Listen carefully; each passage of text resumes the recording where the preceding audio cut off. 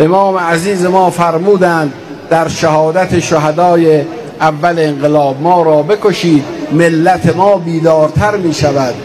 ملتی که شهادت برش شهد شیرین است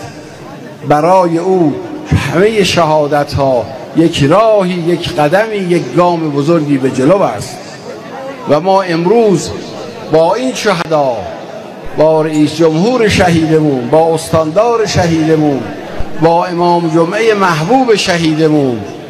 و با وزیر خارجه محبوب شهیدمون و سایر شهیدان عهد میبندیم و پیمان میبندیم. همان گونه که آنها از عهد خود باز نگشتند و بر پیمان خود باقی ماندند ما نیز از آنها پیروی کنیم و بر این عهد و پیمان بمانیم تا به لقای الهی برسیم ان الله خداوند